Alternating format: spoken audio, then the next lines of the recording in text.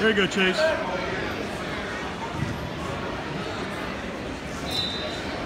Pull that wrist in. Grab it. Grab his chin. Hook that wrist in. There you go. Now get to the other side. Knee up further. Knee up further. There you go. Now do it. Now tilt it.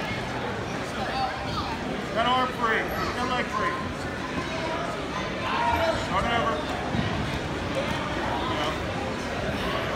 Gotta move.